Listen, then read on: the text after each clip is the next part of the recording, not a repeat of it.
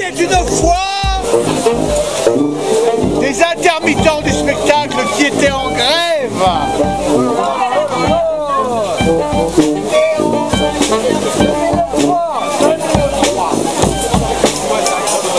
Et ce jour-là, l'extrême, la fanfare de l'extrême est née.